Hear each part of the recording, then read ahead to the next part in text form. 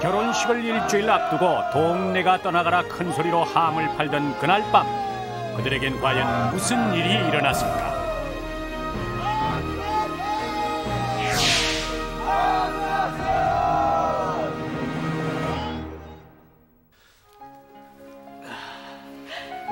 다 됐다. 우리 신랑 진짜 멋있다. 어, 진짜 8개월 연애 끝에 드디어 결혼에 꼴이 나게 된 신현정 강상원 씨. 자기야, 응. 난 어때? 아 우리 자기 누구 섹시인데 이뻐 아주 이뻐 정말? 그럼 오늘은 함을 받는 날 신랑 친구들이 짓궂다는 걸 아는 현정 씨 다시 한번 신랑에게 다짐을 받는데 근데 자기 오늘 조용히 넘어가기로 했다.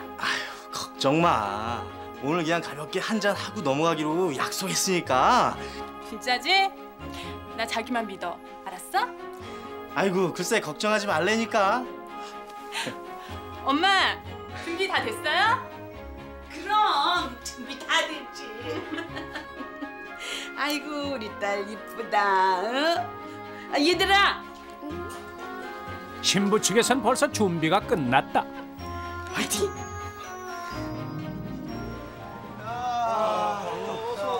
하지만 평소 장난이 심하던 신랑 친구들이 이런 날을 조용히 넘길 리가 없었다. 자자자자 모여봐 모여봐 모여봐. 그래. 이번 기회가 마지막인 거 알지? 그렇지. 그럼 그동안의 목에 낀 때를 오늘 확실하게 한번 풀어보자고. 알았지? 그렇지 자 하나 둘 셋. 화이팅! 하나 친구 중 결혼이 가장 늦은 두 사람이 안겨다준 마지막 찬스. 그 기회를 놓칠세라 친구들은 만반의 준비를 하고 있었다. 자 가자 자 준비됐지?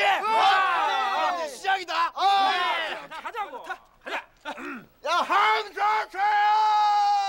함사세요! 함사세요! 드디어 결전의 시간이 다가오고 있었다. 신부 측 대표도 이 순간만을 손꼽아 기다렸다. 가자.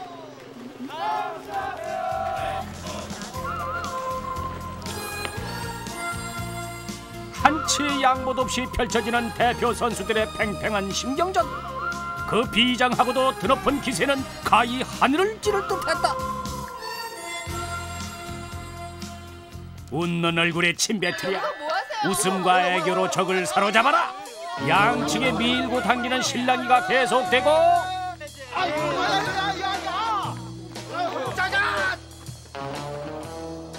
이 정도는 어림도 없지? 안 그래요? 하지만 다부지게 마음먹고 온 이들에게 미소 작전은 통하지 않았고 그럴 줄 알고 준비해 놨죠. 한팔러 가는 걸음걸음 놓인 봉투를 사뿐히 들여밟고 가시옵소서.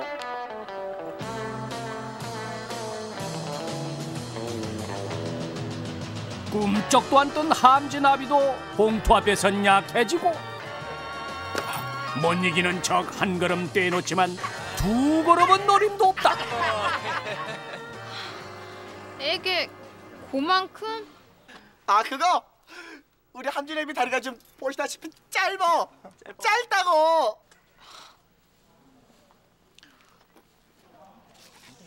점점 더 기세를 올려가는 신랑 측 친구들. 갈수록 더한 짓궂은 장난에 자신만만해하던 신부 친구들도 어찌할 바를 모르고 있었다.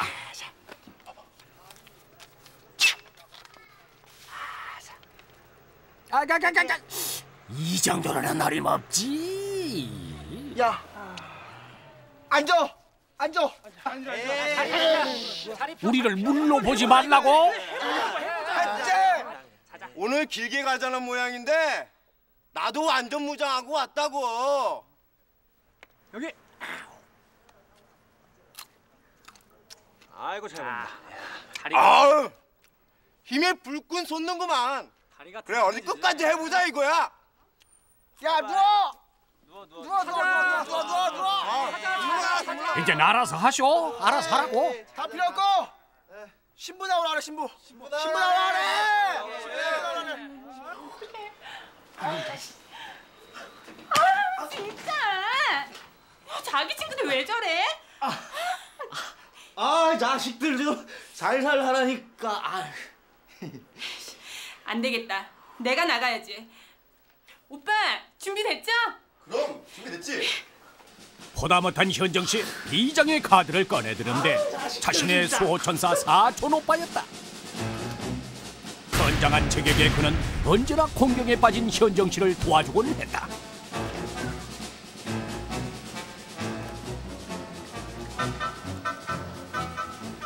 자, 한 잔씩 드세요. 예.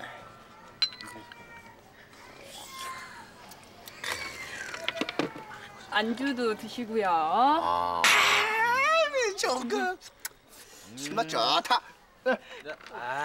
자, 한 잔씩 드시고요. 네 네. 지금 집에 술상 거하게 차려놨거든요. 그러니까 집에 가서 드세요. 네? 에이 뭔 소리? 노래 노래 노래 노래 노래 노래. 이대로는 결혼식 날까지도 끝나지 않을 것 같고 힘으로 밀어붙이는 것 외에는 방법이 없었다. 반칙이야 반칙. 이거 반칙이야. 그러게 말을 진짜 들었어야지. 체격 좋은 사촌 오빠의 거센 공격에 친구들 모두 꼼짝없이 당하고 말았다. 급한 마음에 한 명씩 한 명씩 차례로 승강기 안에 밀어넣은 것이 총 10명. 적은 승강기에 한꺼번에 타기엔 많은 수였다. 이제야 겨우 한시름 놓은 현정 씨. 어, 자기? 나 지금 올라가. 아, 하지만 친구들은 어여쁜 신부를 그냥 놔둘 턱이 없었다. 아니요, 오빠. 먼저 올라가요. 나 계단으로 올라갈게요. 에이 충분하게. 괜찮은데. 아 이걸 또. 모두 11명이 탄 승강기는 그야말로 콩나물 시루가 따로 없었다. 뭐 엘리베이터 탈 인원이 그때 뭐 이미 이제 다 성년들이고 덩치도 또 있었기 때문에 이미 인원을 넘은 것도 저도 알고 있었는데 신부 안 타면 엘리베이터 안 올라간다고 그래서 이제 저도 어쩔 수 없이 이제 술상을 들고 엘리베이터 안에 타게 됐죠. 아유 매 좁은 거. 씨. 숨 쉬기도 힘들구만. 아유 8층을 누르는 순간 승강기는 그 무게를 이기지 못하고 밑으로 꺼져버렸다. 야, 이게 뭐야? 너 어떻게 된 거야? 야, 그럼 우리 이제 어떻게 되는 거야? 나도 몰라. 아, 안다. 그러지 마셔. 이런 데 있으면 정신을 반짝 차려야 되니까. 가만 있어봐라. 아, 그렇지. 뭔 소리야? 아 여보시오? 에? 경비실에 있던 정씨 아저씨에게 사고 소식이 전해졌다. 아 잠깐만 기다리셔잉. 서둘러 뛰어나간 정씨.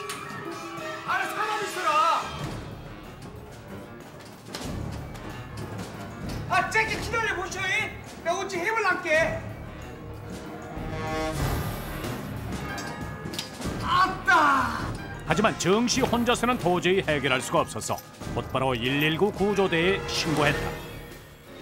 아 거의 119지라. 여 엘리베이터 속에 사람이 갇혀있게. 아 빨리 좀 와주시오. 신고를 받은 전북 고창 소방서 119 구조대가 긴급 출동했다.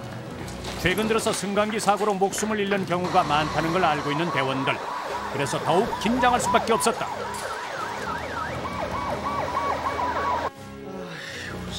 아무리 기다려도 친구들이 오지 않자 상원 씨는 1층으로 내려갔다.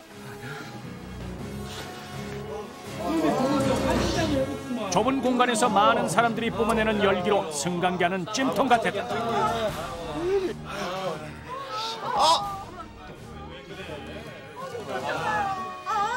사람들은 점점 지쳐갔다.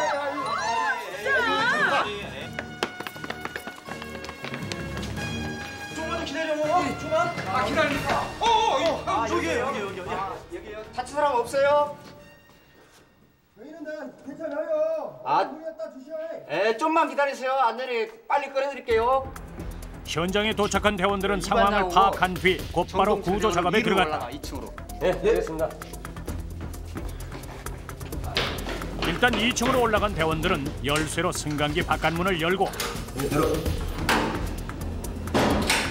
승강기 천정 위에 있는 작동 버튼을 눌러 안쪽 문을 열었다. 승강기는 1m 가량 지하로 꺼져 있었다. 아 천천히 나오세요 여자분부터. 드디어 땀에 절어서 파김치가 된 사람들이 하나 둘씩 밖으로 나올 수 있었다. 사고 발생 20여 분 만의 일이다.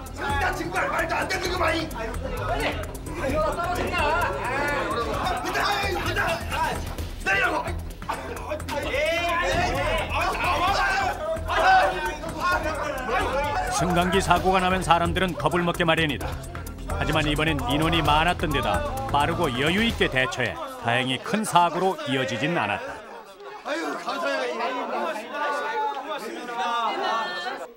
대부분의 승강기 사고는 큰 사고가 아니기 때문에 크게 겁먹지 않아도 됩니다. 사고가 나면 엘리베이터 안에 있는 인터폰을 이용해서 구조 요청을 합니다. 그리고 강제로 문을 열려고 하지 마시고 구조대 올 때까지 기다리시면 되겠습니다.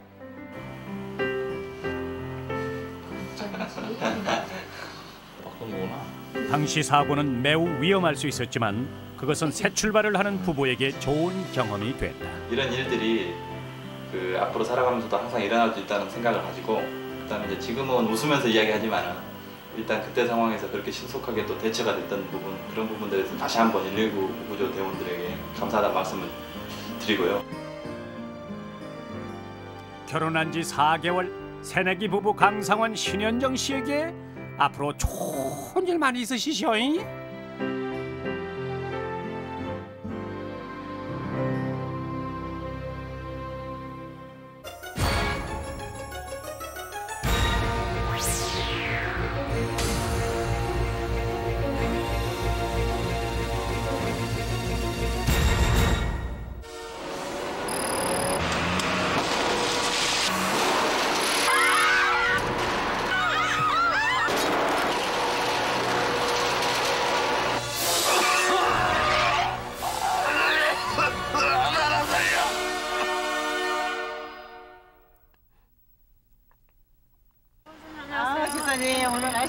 지난 6월 6일 서울의 한 교회 신도들이 황금 같은 휴일을 맞아 야유회를 떠나게 됐다.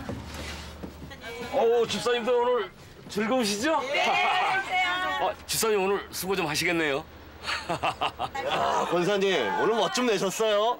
그렇게 보이니까. 자, 다 타셨죠? 네.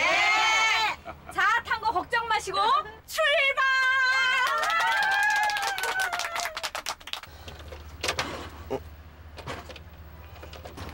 어? 왜 이래? 어.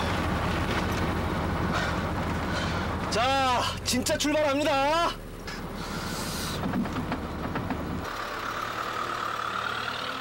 바쁜 일상에서 벗어나 자연을 누린다는 설레임에 들떠있던 아주머니들. 그들의 야유회는 이렇게 신나게 시작됐다.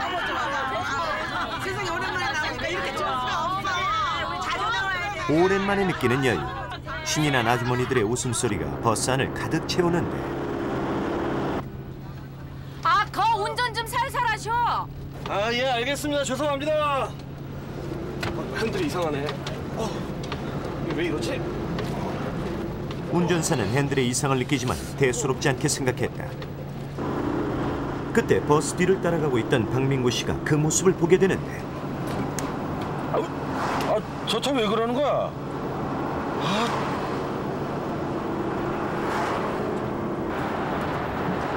출발한 지 10여 분이 지난 오전 9시 10분 버스는 홍지문 터널에 들어서게 되고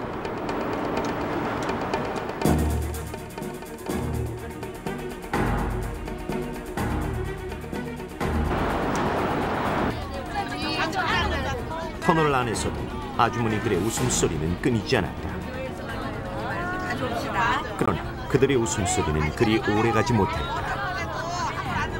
긴 터널에 반쯤 왔을까 그들의 운명이 뒤바뀐 건 바로 그 순간이었다. 누군가 손 써볼 틈도 없이 사고는 그렇게 순식간에 일어났다.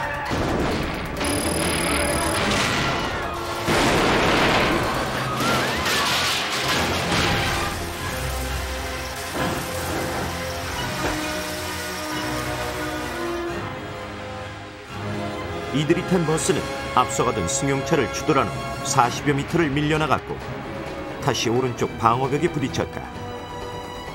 그리고 결국 24명을 태운 채 뒤집어지고 말았다. 조수석을 먼저 박은 게 아니라 운전석 쪽으로 가다가 승용차를 받고 그다음에 튕겨 나오면서 어, 조수석 쪽에 방어벽을 받고 이렇게 넘어진 것 같아요. 제가 생각할 때. 그 넘어지는데 간번에 탁 넘어진 게 아니라 우리가 느낄 때 붕 뜬 것 같은 그러고 나서 찍 소리까지는 들었는데 그 후에는 모르거든요. 24명을 태운 채 통째로 뒤집어진 버스.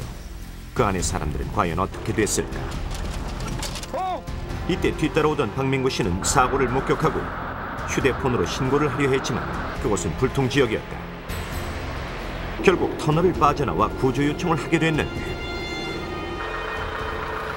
여보세요? 예. 네, 여기 홍지문 터널인데요.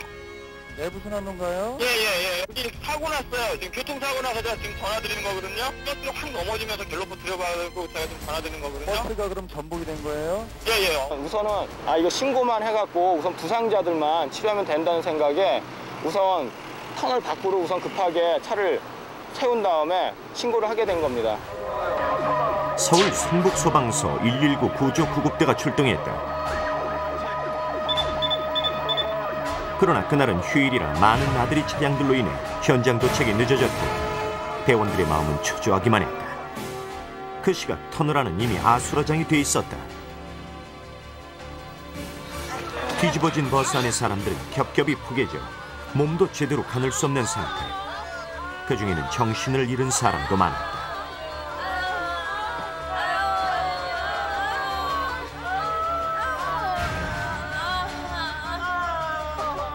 24명이 뒤엉킨 채 모든 출구가 막혀버린 버스 안. 차마 눈 뜨고 볼 수 없는 절망적인 상황이었다. 바로 그 순간 정신을 차린 김근수 씨가 쓰러질 때 충격으로 금이 간 버스 앞 유리를 발견하게 되는데 그것은 천만다양한 일이었다. 탁 때는 게 유리가 안 깨지는 거예요. 그러니까 피만 이렇게 쫙 다 찢어지는 거야. 그러니까 막 발로 두 발로 막 차더라고. 극한 상황에서 생긴 힘이었을까. 곧 유리는 깨졌고 야, 나 먼저 끌어내. 나 죽으면 안 돼. 나 먼저 끌어내. 나 먼저 끌어내가 막 죽을다는 거지. 그 죽은 심을 쓰고 소리 질렀어. 그랬더만은 내가 제일 먼저 나오고 그 다음 이제 차곡차곡 차곡 끌어내는 거야. 그는 그렇게 깨어진 유리창을 통해 사람들을 끌어내기 시작했다. 김근수 씨를 비롯한 여러 사람들의 노력으로 버스 안에 있던 사람들은 모두 다 그곳을 빠져나올 수 있었다. 그러나 사람들이 버스를 빠져나온 바로 그 순간 뜻밖의 일이 벌어졌다. 버스가 뒤집어지면서 새내간 기름으로 인해 불이 붙기 시작한 것이다. 평소 터널을 지나다니며 소화전을 주의 깊게 봐두었다는 김근수 씨. 신속하게 소화전에서 소방 호스를 꺼내 불을 꺼보려 했지만 처음 해보는 것이라 다루기가 쉽지 않았다. 그리고 소방 호스에서 나오는 물은 불을 끄기에는 역부족이었다. 저는 뭐 전문가도 아니고 그 항상 사용해본 적- 적도 없고 그래가지고 불을 끌려고 보니까 수압은 굉장히 그 셌거든요. 셌는데 이 분사가 직선으로 나가지를 않고 이 퍼지는 거예요. 그렇게 계속해서 불을 끄려 애쓴 김근수 씨. 그러나 그의 노력에도 불구하고 불길은 점점 더 커져만 갔다. 한, 한과 동시에 불도 나가더라고요. 그게 지금 암흑천지가 돼버린 거죠.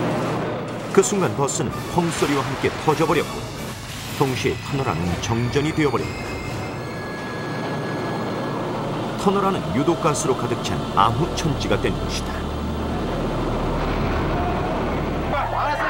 바로 그때 119 대원들이 현장에 도착했다.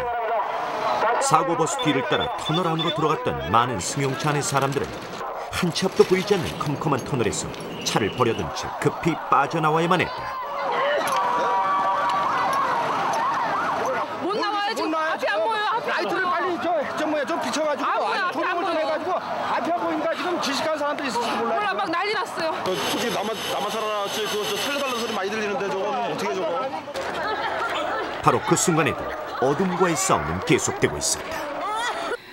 물리셔야지 사람만 와글와글와글 뒤에 자가용들은 애 실을게다 불났다고 애 안고 지고 그거 넘어지면 다 죽어 착탁 그 구란이 빡빡하게 끼어나갔는데 어, 어, 집사님, 집사님 정신 차려요, 정신. 아, 일로 와요. 일로 와봐. 김근순 씨 일행은 마지막으로 탈출을 시도했는데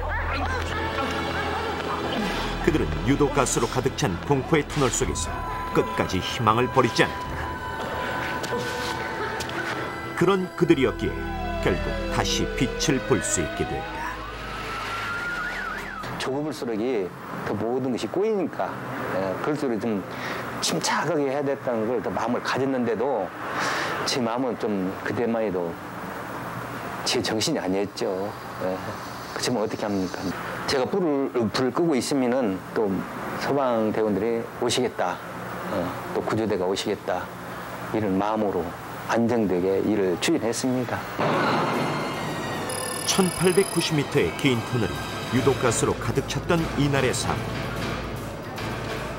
그러나 암흑 속에서도 침착하게 대처한 시민들로 인해 이날의 사고는 사망자 없이 끝이 났다.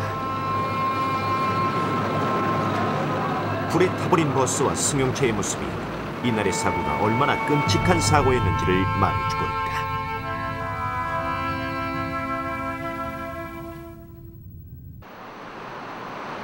지금 이 순간에도 수많은 차량들이 홍지문 터널을 드나들고 있다.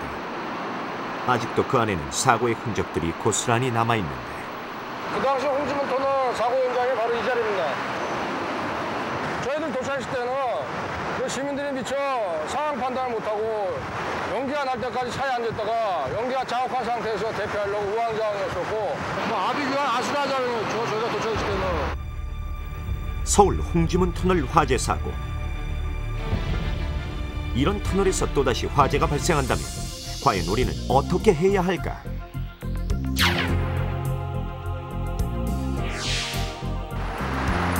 대처 요령 첫 번째, 터널 안에 비치된 소화전을 사용하라. 이 호수에 부착되어 있는 노즐은 항상 개폐가 되어 있는 상태고 물을 나오게 하려면은 수화전 물 개폐구를 내 몸 쪽으로 돌리면은 물이 방수가 되게 됐습니다. 예, 제 몸 쪽으로 돌리면 됩니다. 대처 요령 두 번째, 피난 연결 통로를 이용하라. 터널 안에는 구간마다 비상 연결 통로가 있다. 사고 시 그곳을 통해서 안전하게 대피해야 한다.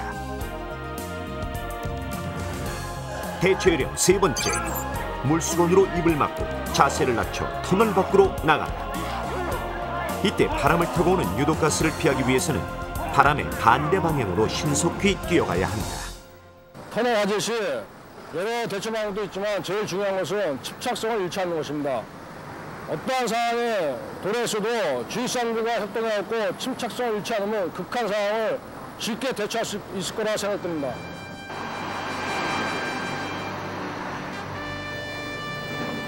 터널 화재 사고로 입원하신 분들이 한병실에 같이 계시거든요.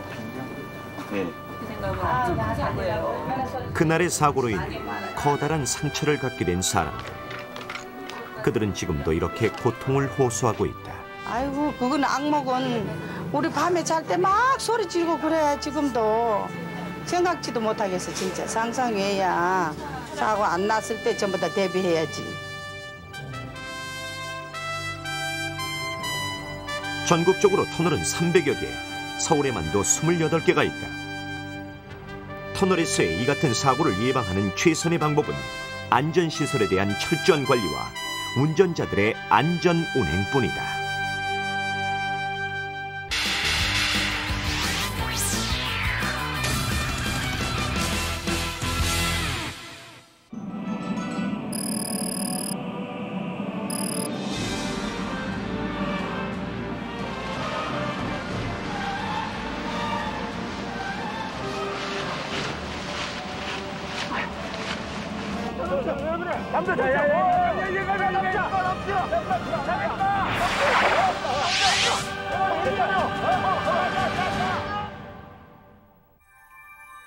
아름다운 섬 제주. 그곳이 더욱 매력적인 건 바로 한라산이 있기 때문이다. 특히 봄이면 산을 붉게 물들이는 철쭉꽃은 최고의 선물이다. 지난 5월 28일 현상지 백미옥 김남수 할아버지가 한라산을 찾은 것도 이런 철쭉꽃을 감상하기 위해서였다. 이들은 올해 74 동갑으로 절친한 친구 사이다. 이날 할아버지들의 등산 코스는 어리목 등산로. 정상인 윗세오름까지 4.7km의 코스로 왕복 4시간이 걸리는 거리다. 아, 관광객은 아, 좀 실례합니다 하면서 자꾸 앞들어가고 우리는 조금 걷고 쉬고 쉬고 하니까 시간을 많이 먹는 거요. 만세동산까지. 다른 사람들이 하산할 시간 그들은 아직 등산 중이었다. 어? 어르신 벌써 올라갔다 오셨어요? 어, 이거 바로 우리 등산이야. 와 어르신 대단하십니다. 이 정도야 보통이죠 자 조심히 내려가요 어, 우리도 저런 젊은 찌가 있었잖아. 우리도 지금 발판하지 뭐 아, 그래? 지금 안 젊어 지금도 괜찮아 아, 그럼 올라가자. 가자 정상에서 멀지 않은 지점 할아버지들은 발걸음을 재촉했다. 하늘은 맑고 산들 바람까지 불어서 등산하기에 더없이 좋은 날씨였다. 아직까지는 맑은 날씨를 띠고 있지만 서쪽에 있는 구름들이 다가오면서 밤 늦게는 제주도 지방부터 기압골의 영향으로 비가 시작돼 내일 전국적으로 내리겠는데요. 쉬엄쉬엄 산행을 하던 이들이 만세동산에 도착했을 무렵 아이고 천천히 가지 아유 두시다 이거 점심 먹어야 되겠네 아니 벌써? 그럼 어디서 먹지 점심을? 아, 저기 좋은 데 있어. 저기 가서 먹자, 저기. 그래요 가자 아, 그, 그러니까요 욕심으로 이 등산길 비서 저 어디 저기 가서 하장 꽃 있는데 밥 먹으면 좋겠다, 우리. 할아버지들은 경치가 더 좋은 곳에서 점심 식사를 할 욕심에 그만 등산로를 벗어나고 말았다. 얼마나 시간이 지났을까? 식사를 마치고 자리를 정리하는데 갑자기 짙은 안개가 몰려오기 시작했다. 게다가 순식간에 비바람까지 몰아치면서 한치 앞을 분간할 수 없었다. 밤 늦게야 비가 온다는 일기 예보도 변덕스런 산 날씨 앞엔 무용지물이었다. 야야 이 갑자기 그 안개가 끼고 이 날씨가 왜 이러냐 이거 어? 비도 오잖아 어? 안 되겠다 얼른 내려가자 어? 어. 네가 앞장서 빨리 길 잡아 어, 그래 아니 밤늦게 진짜 온다 그러는데 아이고 빨리 가 얼른 가 어? 빗줄기는 갈수록 거세졌다. 하지만 등산로에서 크게 벗어나지 않았고 익숙한 산이었기에 길을 찾을 수 있을 것이라 생각했다.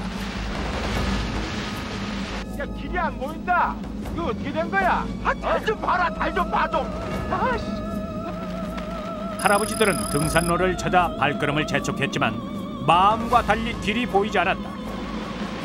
갈수록 비바람은 폭풍우가 돼 몰아쳤다. 그리고 할아버지들은 몇 시간째 같은 곳만 맴돌며 만세동산 부근을 벗어나지 못하고 있었다.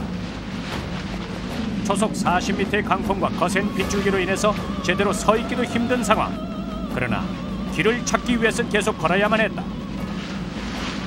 길을 잃었을지도 모른다는 불안감과 폭풍우 속에 지칠 대로 지친 할아버지들. 엎친 데 덮친 격으로 더 큰 문제가 발생했다. 도저히 길을 못 찾겠다 뭐 어디가 어딘지 알 수가 있어야지 아, 남수야 길 좀 알겠냐? 어? 남수야. 어? 어, 나, 남, 남수야. 남수야. 아왜 그랬어 남수야 정신 차려. 야나 남수야 남수야. 김남수 할아버지가 갑자기 쓰러진 것이다. 야야야야야야야 그래? 저, 저, 핸드폰 핸드폰. 그러나 그곳은 휴대전화 불통 지역이었다. 야 야 야 전화 목통이다 야 119야 전화 목통이다 야 일단 길을 좀 피하자 어? 어? 잠깐만 힘을 좀 내. 남수야 힘을 좀 내봐라 힘을 좀 내. 일어나 일어나 도저히 나는 포기했습니다. 자신이 없었고요. 두 사람이 나를 붙들고 어떻게 가- 어, 간다는 것도 그 무리고 밤에 어, 어림도 없죠 뭐. 그러니까 나는 이미 저, 안 되겠다. 가. 남수야 남수야 미쳤냐? 너 죽으려고 환장했냐 인마? 힘을 내야 돼 자식아. 나 일어나. 일어나. 그다음에 나중에는 도저히 못 가겠다. 우리 뭐 가가하게 저 상주 보고 안 되겠다. 더 이상 가려고 하지 말고 저 나무 그늘로 가자고 했더니 이제 나무 그늘 가기 시작했지. 김남수 할아버지는 체온이 급격히 떨어지고 다리가 마비돼 몸을 움직일 수 없는 상황이었다. 이들은 비를 피할 수 있는 나무 밑에서 비를 피하며 구조를 기다리기로 했다. 힘좀 내, 힘좀 내. 하나씩 아들한테 또 한번 해봐. 자리를 옮긴 뒤 현상지 할아버지는 혹시나 하는 마음으로 다시 한번 전화 통화를 시도했다. 바로 그때 전화 된다. 신호 간다, 신호 간다. 여보세요? 예, 예, 애비야. 저 만세동산 동쪽인데. 만세동산 동쪽이요? 여보세요? 여보세요? 통화는 한 10초간만 이루어졌습니다. 여기는 만세동산 동쪽인데 길을 잃었다. 어, 119에 구조 요청하라고 그런 말씀이셨습니다. 그리고는 그 전화가 끊겼습니다. 예, 일입니다. 예, 그 구급 구조를 좀 요청하려고 하는데. 예, 예, 어디가? 저 저희 아버님인데 그 한라산 올라가셨는데 예. 핸드폰이 됐다 안 됐다 해가지고 예.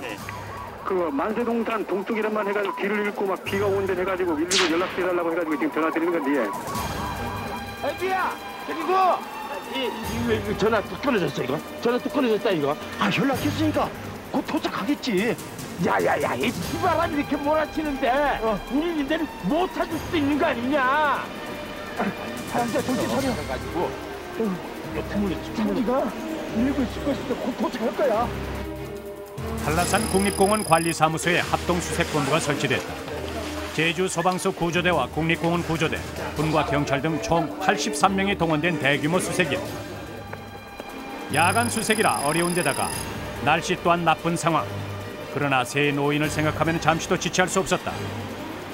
그 시각 김남수 할아버지는 점점 나빠지고 있었다. 얘 손이 너무 차갑다 이거. 어? 야 이거 안 되겠다 이거. 어? 어, 정신 차려.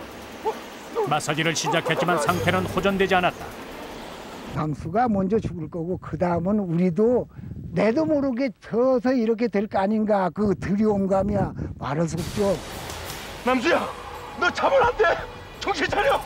그런 차려보다 죽어. 친구를 살리기 위한 두 노인의 손놀림은 절박했다. 한편 한라산 지리에 밝은 국립공원 구조대의 안내를 받아서 119 구조대가 만세동산에 도착했다. 수고가 많았습니다. 여기가 만세동산입니다. 만세동산 동쪽이라고 신고가 왔으니까 그 부분을 위주로 수색을 실시하죠. 신고를 이렇게 받은 게 만세동산 부근이라고 했으니까 그 등산로를 어, 만세동산 동쪽으로 이탈했다가 다시 그 등산로를 진입해가지고 서쪽으로 이탈하지는 않을 것이다라는 생각이 들어가지고 그러면 동쪽 위주로 대원들은 소리가 멀리 퍼지도록 호루라기를 불어서 새 노인에게 수색 위치를 알렸다. 야간이고 또 바람이 초속 40m 이상 몰아치고 또 비바람까지 치고 안개까지 껴서 앞을 뭐 이렇게 헤쳐나가기가 굉장히 어려운 상태였습니다. 손전등에만 의지해서 수색하는 대원들도 안전하지 못했다. 불어난 계곡물도 그들을 힘들게 했다. 체감 기온 영하 7도. 김남수 할아버지의 체온은 점점 떨어지고 어떡하지? 의식도 희미해져 갔다. 7, 80% 의식이 없었어요.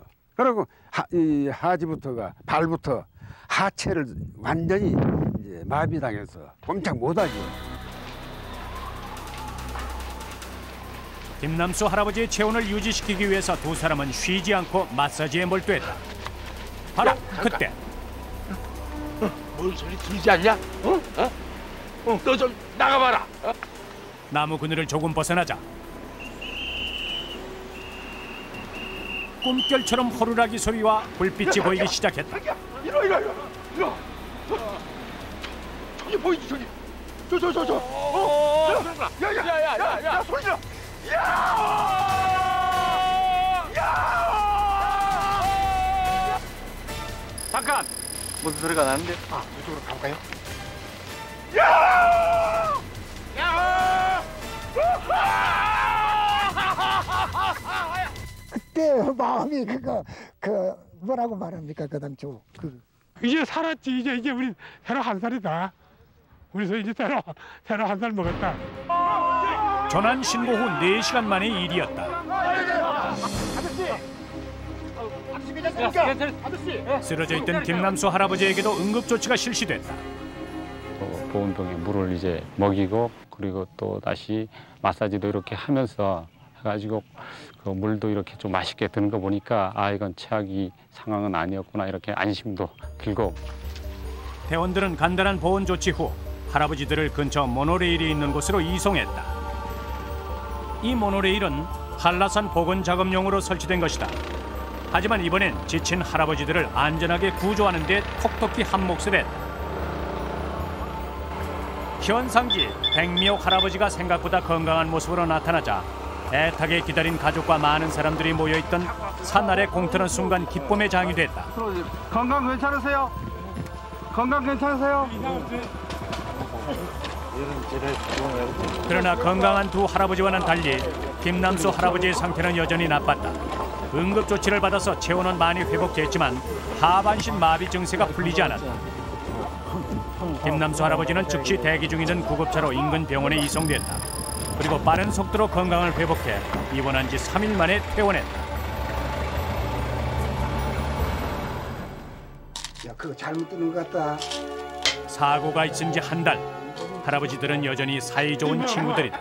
이거 게임이 안 되던데 이거 되는 이거. 큰일을 겪었지만 그들은 또다시 한라산에 오를 것이다.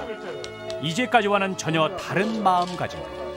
만년부장해 절대 산에 갈 때는 그 마당을 생각 가지고 모든 준비 다 해야 돼요. 우선 우비, 우비를 하나 틀어야 되고 플라시 산 야빠 야 보는 사람은 산한테 당해요.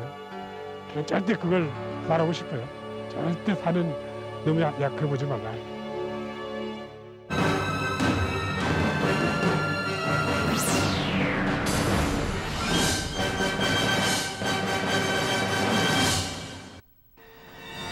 어두운 저녁 좁은 시골길을 달리던 한 트럭 술에 취한 채 아슬아슬한 고개 운전을 하고 있었다 바로 그때 트럭은 서 있던 트럭과 추돌했고 화장실로 돌진하고 말았다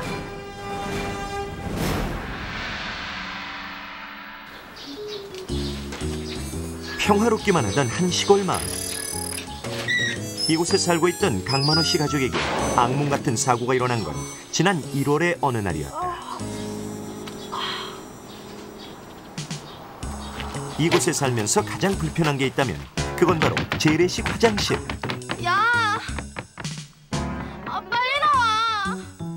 아침마다 전쟁 아닌 전쟁을 치르는데 아, 좀 기다려! 닭 떨어니까 더 안 나오잖아! 우리 집도 비대변 끼면 얼마나 좋아. 오늘도 변비 탈출 실패 화장실을 나서는 순간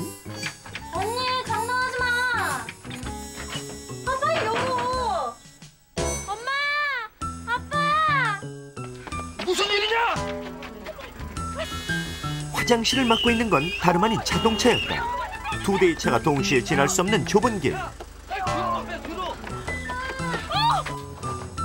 매일같이 밀려드는 차들로 집 앞은 교차로가 되기 일쑤였는데 하루가 멀다고 일어나는 일이었다.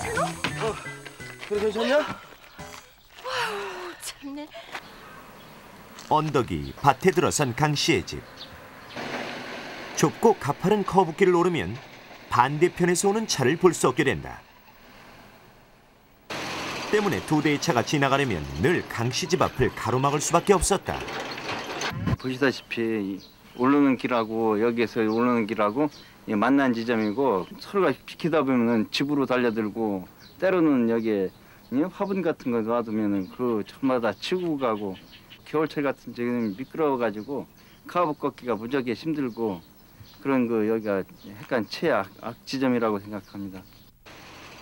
하나, 둘, 셋, 넷! 트럭을 타고 고속도로를 바람처럼 달려가자! 띠띠빵빵, 띠띠빵빵, 띠띠빵빵, 띠띠빵빵. 그리 넉넉한 살림은 아니었지만 착하게 자라는 딸들과 작은 트럭 한 대가 강만호 씨의 보험을 이뤄 그는 여름날과 다름없이 화장실 앞에 자신의 트럭을 주차했다.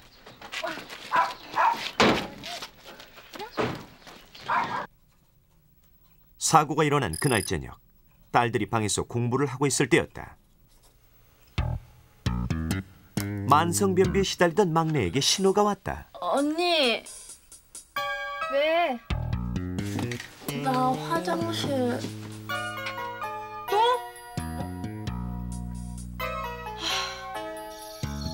그 시각 강 씨 부부는 집 옆에 붙어 있는 축사에서 소에게 먹이를 주고 있었다. 많이 먹어라. 너무 부족하네. 짚을 쌓아둔 창고는 바로 화장실 옆. 그때 강 씨의 집을 향해 트럭 한 대가 달려오고 있었다. 운전자는 만취 상태. 어둡고 좁은 길을 고개하듯 오르는 트럭. 보기만 해도 아찔한 순간이었다. 혼자 가기 무섭단 말이야. 같이 가. 네가 어린애야? 화장실도 혼자 못 가게. 난 진짜 같이 가자. 알았어. 같이 가자. 당신 집 좀 더 가줘. 그럴게요. 같은 시각 부인도 화장실 옆 창고로 향했다. 그러나 트럭은 집 쪽을 향해 무서운 속도로 돌진하기 시작했다. 당황한 운전자 피해보려 했지만 집 앞에 서 있던 트럭과 추돌 화장실까지 덮치고 말았다. 온 집안을 뒤흔들어 놓은 엄청난 사고. 부인은 트럭 밑에 깔리고 말았다. 아 이거 뭐야 이거는? 어? 어?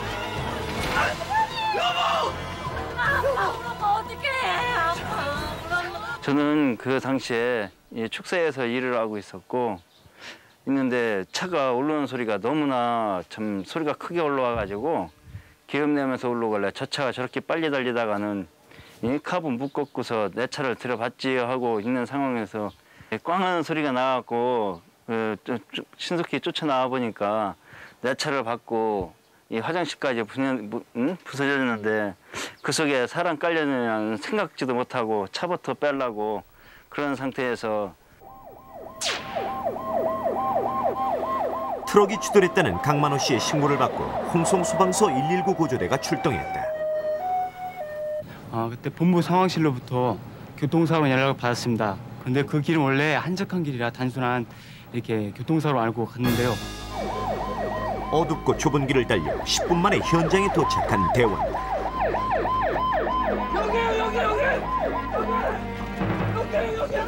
사고 현장을 확인하고는 깜짝 놀라고 말았다. 저희가 현장에 도착했을 때 두 대의 차량이 그 화장실 입구를 막고 있는 상황이었습니다. 심하게 다쳤을 거라는 생각은 들었습니다. 사장님 시도가 안 걸립니다. 부인을 구하기 위해선 일단 트럭을 끌어내야 했다. 어떻게 했으면 좋겠어요? 윈치를 사용하죠. 차 중량이 좀 커서 끌어지 방향이 높을 것 같은데. 어, 윈치를 사용하는 게. 네, 알겠습니다, 대장님. 시간이 지체될수록 사고자는 더 위험한 상황. 대원들은 빠른 판단을 내려야만 했다. 그러나 추돌 시 충격으로 두 대의 트럭이 단단히 낀 상태였기 때문에 윈치로도 끌어낼 수가 없었다. 차가 추돌하면서 심하게 찌그러진 데다가 시동도 안 걸리고 윈치를 사용해도 끌어낼 수 없는 상황이었습니다. 그래서 결국은 체인을 사용하기로 결정했습니다. 약간 씨. 구조차와 트럭을 체인으로 연결. 서서히 끌어당겨 보는데 이번엔 성공할 수 있을지. 어, 움직인다. 차를 뒤로 빼내자 드디어 트럭 밑에 깔렸던 이산옥 씨의 모습이 드러났다. 화장실 앞에 그 턱이 있었기 때문에 천만다행으로 더 위험한 순간을 모면했었고 그 환자는 엎드린 상태에서 그 경추와 흉추 그리고 대퇴부에 그 부상을 당했기 때문에 신속히 병원으로 이- 이송을 해, 했습니다. 화장실과 트럭 사이에 낀 채 떠밀려 넘어졌던 이산옥 씨. 트럭 밑에 끼어있던 오른쪽 어깨와 다리에 심한 통증을 호소했다. 아니 좀만 참으세요. 다행히 의식이 있었지만 그녀의 부상은 심각해 보였다. 조금만 참으세요. 사고 발생 20여 분 만에 끔찍한 상황에서 벗어나게 된 강만호 씨까지 한 운전자의 부주의라고 하기에는 이들이 치러야 했던 대가는 너무나 컸다. 사고가 일어난 지 5개월이 지난 지금 이 부분 받아갖고 여기 받아갖고 이 문짝하고 이 반바하고 전부 다 나가. 천면이 다 나갔어요. 이거. 산산주각난 화장실은 그날의 사고를 말해주고 있는데 현재 샤워실에 임시로 마련된 화장실 사고 후 많은 것이 제자리를 잃어버렸다. 제가 막상 이런 사고를 당하고 먼저도 걱정을 하고 있었는데 이 보시다시피 여기가 길이 이 지금 현재로는 측량만 돼 있지 요 밑에도 포장이 돼 있고 저기 응? 들어오는 입구에도 포장이 돼 있지만 여기는 아직 포장이 안 돼 갖고 빨리 이게 포장이 돼 가지고 이좀 이런 사고가 없이 이 순탄하게 모든 사람들의 평화를 좀 이, 가졌으면 좋겠습니다. 사고의 가장 큰 피해자는 부인 이산옥 씨였다.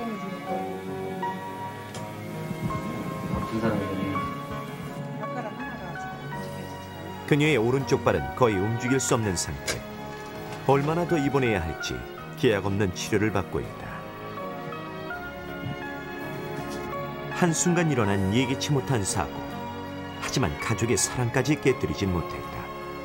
넉넉지 못한 형편에 모든 것이 힘들긴 하지만 더 커진 사랑으로 이겨나갈 것을 믿는다.